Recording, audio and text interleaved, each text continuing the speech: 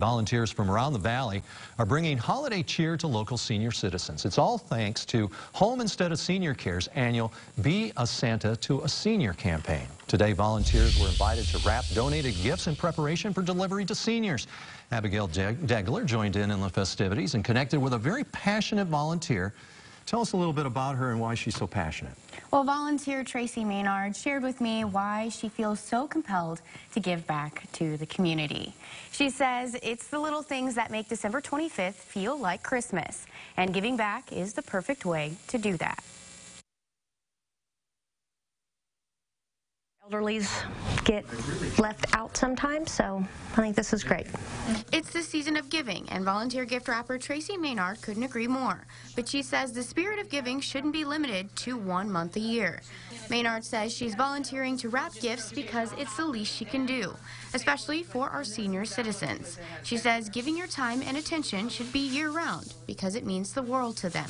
We wouldn't be here if it weren't for them.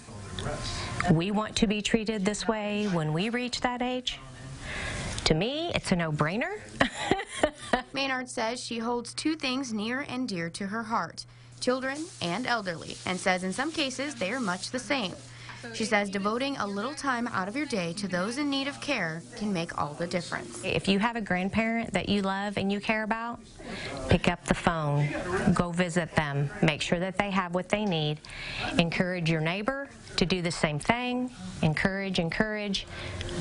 Hopefully it'll all come full circle and everybody will take care of everybody. Um, Once all the gifts are wrapped, volunteers will deliver the gifts to senior citizens across the Wabash Valley, spreading Christmas cheer to those who may not have someone to celebrate this year. Mm.